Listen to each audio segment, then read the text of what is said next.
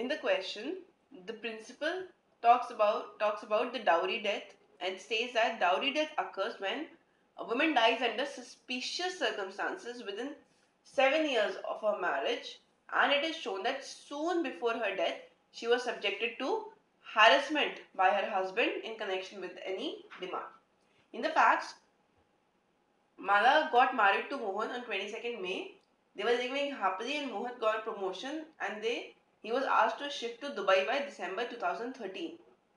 So in order to re re uh, relocate, Mohan asked Mala to get some money from her parents. Now Mala did not want to leave her home and settle in another country. An argument ensued which went on for a whole night and next day when Mohan returned from office he found Mala lying dead in the bathroom. Postmortem report showed that her death was caused due to overdose of sleeping pills.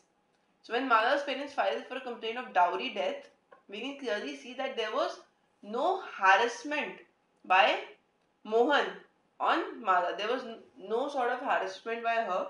So it would definitely not be a dowry death. She herself did not want to uh, go and settle in another country and that is the reason she took an overdose of sleeping pills and which led to the consequences of her uh, death.